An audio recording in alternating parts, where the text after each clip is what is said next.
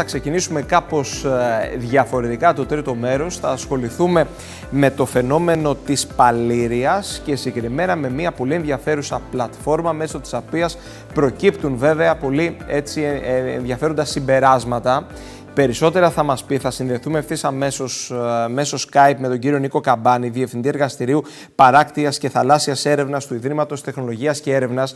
Κύριε Καμπάνη, να σας ευχαριστήσω πολύ. Τα έχουμε ξαναπεί μέσα από την εκπομπή και τα ξαναλέμε. Μας δίδεται ευκαιρία να τα ξαναπούμε για ένα θέμα που έχει ιδιαίτερο ενδιαφέρον. Καλησπέρα. Καλησπέρα σας κύριε Παναγιωτόπουλε, πραγματικά έχει ενδιαφέρον.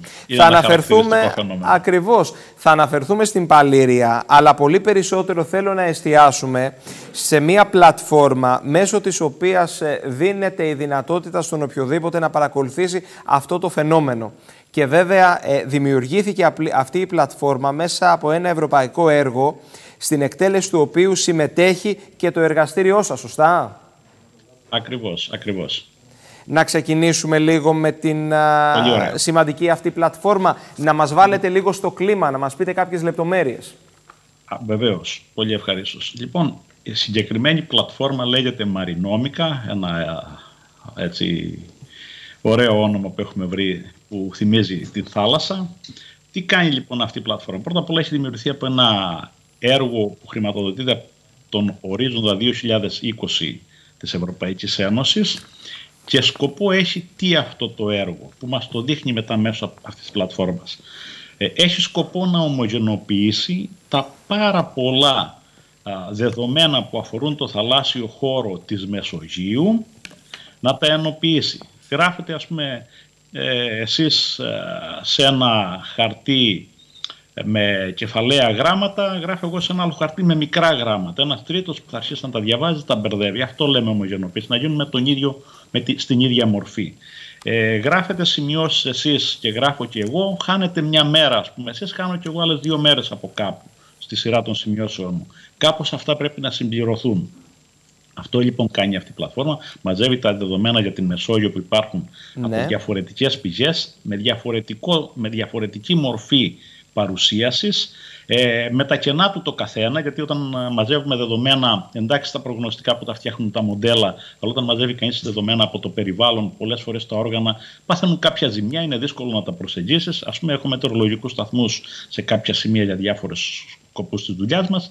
Πέφτει το ρεύμα, πέφτει το ίντερνετ, χάνουμε την πρόσβαση, χάνουμε και τα δεδομένα. Αυτά τα δεδομένα είναι αξιοποιήσιμα από ποιους, ε, κύριε Καμπάνη; Από πολλούς ευρωπαϊκούς φορείς, ερευνητικούς, ναι. διοικητικούς, ε, ένα σωρό ε, φορείς. Ε, ας πούμε, έχω ένα, ρευματο, ένα κυματογράφο βυθισμένο έξω από τον Κούλε, η κάρτα του γράφει για ένα μήνα, έχει χώρο. Αν για κάποιο λόγο στο μήνα πάνω που θα πρέπει να πάω να την αλλάξω, ε, είναι κακοκαιρία, κάτι συμβεί και δεν μπορέσω να την αλλάξω, αρχίσει να γράφονται ξανά τα, τα, τα επόμενα ξανά πάνω στα παλιά. Αυτό σημαίνει ότι χάνουμε τα δεδομένα. Αυτά είναι τα κενά στα δεδομένα που έχουμε από το πεδίο. Συμπληρώνει λοιπόν και τα κενά δεδομένων πεδίου. Επίσης έχει προγνωστικά μοντέλα για την θάλασσα και για την δυναμική της θάλασσας και υδροδυναμικά και κλιματικά μοντέλα, αλλά και μοντέλα που περιγράφουν τη σημεία και την οικολογία της θάλασσας και κάνουν και τις σχετικές τους προγνώσεις. Και επίσης πολύ σημαντικό ενοποιεί από πραγματικό χρόνο παρατηρήσεις δεδομένα, τα οποία προέρχονται από σημαδούρες που είναι βυθισμένες γύρω-γύρω από την Μεσόγειο υπάρχουσες ε, και επιπλέον έχει στήσει και κάποια καινούργια παρατηρητήρια με δικές τους σημαδούρες και προγνωστικά μοντέλα σε πολλές περιοχές ε, της βόρειας ακτής της Ευρώπης και με έμφαση βεβαίως στα βόρεια παράλια της Αφρικής. Εκεί τώρα καταλαβαίνετε ότι το πρόβλημα ήταν λίγο χαρακτηριστικό, γι' αυτό το ήθελε και πάρα πολύ η Ευρωπαϊκή Ένωση, διότι εκεί πέρα υπάρχουν όλες οι δυσκολίες του να μείνει στην Ευρωπαϊκή Ένωση, ε, να μείνει στην Ευρώπη, ε, τοπικές δυσκολίες και το οποίο έκανε και μάλιστα όχι όλα τα παρατηρητήρια που είχαν σχεδιαστεί να λειτουργήσουν ε, ολοκληρωτικά και με τον πλήρη και σωστό τρόπο. Ε, Παρ' όλα αυτά όμως η πλατφόρμα είναι αυτή τη στιγμή στα χέρια μας, επιχειρησιακή. Έχετε πρόσβαση εσείς αν θέλετε αύριο το πρωί να πάρετε την, ε, το link και να συνδεθείτε. Ναι. Έχει οποιοδήποτε πολίτης θελήσει να πάρει μια πληροφορία. Δυνατότητες είναι... εξέλιξης ε, της συγκεκριμένης ε, πλατφόρμας υπάρχουν, κύριε Καμπάνη; Ε, πάντα υπάρχουν. Πάντα υπάρχουν. Αυτή είναι μια πλατφόρμα που αυτή τη στιγμή περιγράφει την Μεσόγειο μέχρι μια συγκεκριμένη διακριτική ανάλυση. Ε, για παράδειγμα, επειδή στην Κρήτη δεν προέβλεπε ο σχεδιασμός του όλου έργου ε, παρατηρητήριο ούτε προγνωστικό αλλά ούτε και σε πραγματικό χρόνο ε, όργανα τα οποία μετρούσαν και κατέγραφαν. Εμείς με δική μας πρωτοβουλία και επειδή εμείς κάνουμε το στήσιμο των προγνωστικών μοντέλων, εμείς είμαστε περισσότερο προς προς τη μοντελοποίηση, την προγνωστική μοντελοποίηση ε, του αντικείμενό μας, ε, παρά την φυσική ωκεανογραφία. Οπότε μέσα στα πλαίσια αυτής της ε, εξειδίκευσης την οποία έχουμε, ε, αν, αν, όχι αντιγράψαμε, ξεπατήσαμε θα έλεγε κανείς την τεχνική την οποία χρησιμοποίησαμε εμείς ήδη για να στήσουμε τα προγνωστικά των, εργαστών, των παρατηρητηρίων γύρω από τη Μεσόγειο αυτά ε, και κάναμε αυτό το Coastal Crete που πιθανόν έχετε ακούσει για την Ναι, Κρήτη. βέβαια. Έτσι, μας το χρηματοδότησε η εταιρεία του Μέρκατορ από τον Κοπέρνικο και με ποιο σκοπό, με σκοπό να, να κάνει εσάς, ε, διάφορους άλλους, εμένα, να είμαστε χρήστες των προϊόντων τους ε, και αυτό να υποστηρίζει τη βιωσιμότητά τους. Γι' αυτό μας δίνουν αυτά τα λεφτά, δεν το κάνουν, ε, πώς να πω, έτσι γενικά. Έχουν προκύψει ε, κάποια συμπεράσματα μέσα από την εξέταση των δεδομένων της συγκεκριμένης πλατφόρμας ε, που είναι ανακοινώσιμα; Βεβαίως. Και είναι πολύ σημαντικό, κύριε Παναγιώτοπουλο, να έχεις μια συνολική εικόνα. Δηλαδή, κάθομαι στο γραφείο μου αυτή τη στιγμή, μπορώ ναι. να συνδεθώ στην πλατφόρμα και να δω τι γίνεται όχι μόνο εδώ στην περιοχή μας κοντά, αλλά να συνδεθώ και αντιδιαμετρικά της Μεσογείου, στα δυτικά ή στην νοτιοανατολική Μεσόγειο, στο Ισραήλ, ε, στην περιοχή του Μαρμαρά στην Τουρκία που υπάρχει ένα παρατηρητήριο. Να δω τι γίνεται. Έτσι. Να έχουμε μια συνολική εικόνα. Και αυτό λοιπόν σε σχέση, σε σχέση με την παλήρια την προχθεσινή, η οποία α, ξεκίνησε σαν ανησυχία στον κόσμο. Ανησύχησαν έδωσε... οι περισσότεροι γιατί δεν γνώριζαν. Λογικό, λογικό. Δεν είχε τη συμπεριφορά που έχει η απόσταση των νερών ε, όταν ε, υφίσταται κάποια υποθαλάσσια καθολή τη σεισμό και ξεκινάει ένα τσουνάμι. Γιατί αυτό είναι πολύ γρήγορο φαινόμενο. Ενώ το εδώ είναι ένα αργό φαινόμενο της παλήριας. Έχει όμως ενδιαφέρον να δείτε, αν θέλετε, μπορώ να κάνω share την εικόνα μου. Ακριβώς, ε... ακριβώς. Ενώ βλέπουμε και χαρακτηριστικές φωτογραφίες από την περιοχή της Αμουδάρα, εκεί τη θάλασσα, ε, δικά μας πλάνα, ε, που αποτυπώνεται βέβαια και το φαινόμενο στο οποίο αναφερθήκατε. Κύριε Καμπάνη, βέβαια, να μας δείξετε κι εσείς. Εγώ λοιπόν θα σας κάνω share την οθόνη μου και θα προσπαθήσω να σας δείξω ένα, μια αλληλουσία εικόνων, στιγμιότυπα, τα οποία ξεκινάνε, ξεκινώ λοιπόν το share. Ναι. Ε, και βάζω λοιπόν να δούμε την εικόνα της Μεσογείου, πιστεύω ότι το βλέπετε. Φαίνεται. Βέβαια, το βλέπουμε, το βλέπουμε, βέβαια. Πολύ ωραία. Λοιπόν, το σταμάτησα ε, μάλλον το ξαναπέζω ώστε να, να αρχίσω να το λέω. Ναι, ναι. Είναι ένα στιγμιότυπο στις 28 Φεβρουαρίου. Θέλω να παρατηρήσετε τα κόκκινα. Τα κόκκινα είναι ψηλά, ψηλή στάθμη της θάλασσας, ψηλή παλήρια. Ε, τα μπλε, τα ανοιχτόχρωμα προς τα σκουρόχρωμα μπλε είναι χαμηλή παλήρια. Η άμπο της το μεγαλύτερο της εύρος.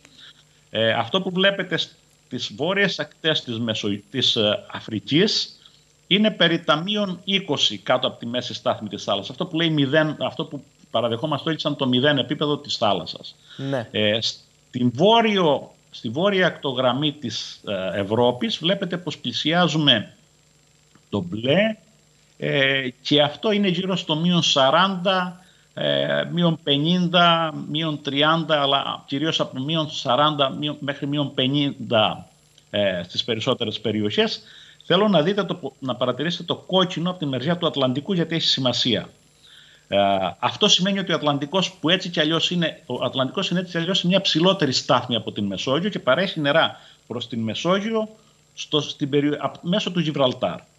Αν προχωρήσει το φαινόμενο αυτό, ε, βλέπουμε στις 6 του μήνα Βλέπετε λοιπόν ότι αρχίζει να παίρνει την έκτασή του γύρω στις 8 του μήνα τώρα που είμαστε. Ναι. 8 του μήνα θέλω να σας θυμίσω ότι είναι και η Πανσέλινος, δηλαδή η, η μέρα που η, η Σελήνη ευθυγραμμίζεται με τη γη και τον ήλιο, από την αντιδιαμετρική μεριά, η Πανσέλινος, και τότε είναι τα μεγαλύτερα επίπεδα παλήριας αστρονομικής. Και το αφήνω να συνεχίσει για να μας πάει μέχρι ε, τις 10 σήμερα που βλέπετε ότι έχει υποχωρήσει το φαινόμενο σιγά σιγά και να προχωρήσει μέχρι τις 14 όπου πρακτικά έχει επανέλθει στην ε, ε, αρχική του κατάσταση. 14 οποου πρακτικα εχει επανελθει στην αρχικη του κατασταση 14 οπου πρακτικα εχει επανελθει στην ε, αρχικη του κατασταση 14 οπου πρακτικα εχει επανελθει στην αρχικη του κατασταση 14 οπου πρακτικα εχει επανελθει στην αρχικη του κατασταση 14 οπου πρακτικα εχει επανελθει στην αρχικη του κατασταση Μάλιστα. Είναι εμφανές αυτό το οποίο μας ε, παρουσιάζεται και αποτυπώνεται και στον χάρτη βέβαια που μας δείχνετε αυτή τη στιγμή. Ερώτημα λοιπόν, κύριε, το, το, Παναγιώτο, το βάζω να ξαναπέξει άλλη μια φορά χωρίς να διακόπτω μιλώντας και να το δουν οι τηλεθεατές σας.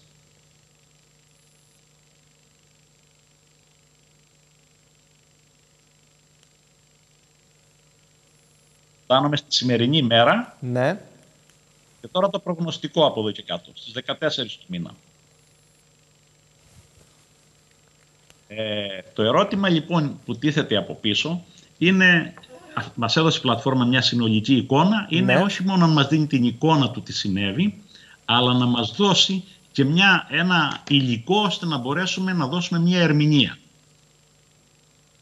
Για μένα το υπόβαθρο της όλης υπόθεσης είναι η αστρονομική παλήρια. Έτσι είναι το υπόβαθρο.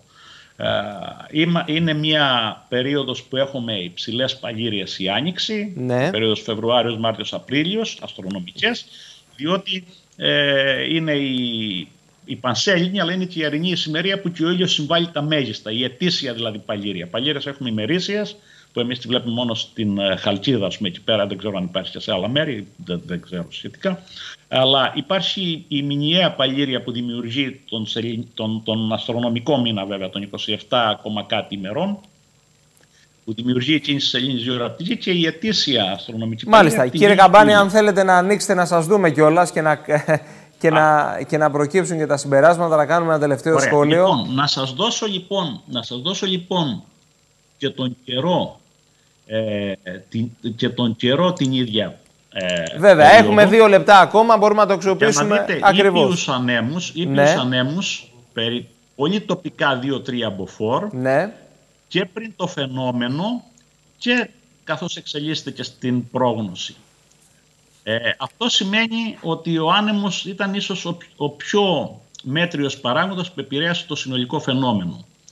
Ε, Όμως, μιλώντας και με τον κύριο Μανώλη Λέκα, εδώ τον μετεωρολόγο, μου έβαλες στο μυαλό μου την βαρομετρική πίεση. Μου λέει: Είχαμε πολύ ψηλές βαρομετρικές πιέσεις ε, και πιθανόν αυτός να είναι ο μετεωρολογικός παράγοντας που υπο, υποστήριξε πολύ το φαινόμενο. Και ναι. πραγματικά, αν δείτε, αυτό δεν είναι από την πλατφόρμα και γι' αυτό είναι και λίγο πιο έτσι, τραχιά τα γραφήματα. Είναι από τον Κοπέρνικο, Βλέπετε τα πολύ κίτρινα είναι πολύ ψηλές βαρομετρικές πιέσεις. Φτάνουν και μέχρι 1030-1040 μιλιμπάρ. Ε, ένα μιλιμπάρ, αν εφαρμοστεί σε, για μακρόχρονικό διάστημα πάνω στην επιφάνεια της θάλασσας, κατεβάζει κατά ένας, σαντιμέ, ένα εκατοστόμετρο τη στάθμη της θάλασσας. Θέλει όμως χρόνο για να προπαρασκευάσει την επίπτωση. Έτσι. Κύριε Καμπάνη, ε, να σας δούμε, να σας δούμε για να κλείσουμε. Έχουμε ένα λεπτό. Ε, αποδεικνύεται ότι βέβαια η τεχνολογία σε πολλές ε, περιπτώσεις, εμφατικό και το παράδειγμα που μας ε, παρουσιάσετε αυτή τη στιγμή, είναι σύμμαχος των επιστημόνων. Πολλά τα συμπεράσματα τα οποία προέκυψαν και θα προκύψουν, ε, σε όλους αυτούς βέβαια που συμμετέχουν στην όλη προσπάθεια. Σωστά, συμφωνείτε; Ακριβώς, ακριβώς. Θέλω να σας ευχαριστήσω πάρα πολύ. Ε, βέβαια, να τονίσουμε ότι οποιοδήποτε επιθυμεί μπορεί να μπει ε, αν έχει το, το συγκεκριμένο link. Βεβαίως, βεβαίως. Εγώ θα ήθελα, αν είχαμε μισό δέκα δευτερόλεπτα. Έχουμε, έχουμε, δείξω, έχουμε, κύριε Καμπάνη. Να σας δείξω ένα, μια εικόνα ακόμα, να ξανακάνω ναι. άλλη μια φορά την εικόνα μου. Και να κλείσουμε να έτσι, βέβαια. Την περιοδικότητα του φαινομένου για να μην λέμε ότι δεν συνέβη και πέρσι. Ναι. Λοιπόν, σε αυτή την εικόνα εδώ πέρα, βλέπετε στην, εκεί που έχω, δεν ξέρω αν φαίνεται και ο κέρσορας του, της οθόνης μου, βλέπετε ότι πέρσι γύρω στον α, μεταξύ Μαρτίου και Απριλίου ξαναείχαμε την αντίστοιχη άμποτη. Μάλιστα. Τη βλέπετε, την καμπύλη. Και ξανά ερχόμαστε φέτος την αρχή του Μαρτίου και ξανά έχουμε ένα Έχουμε μια επανάληψη λοιπόν του φαινομένου.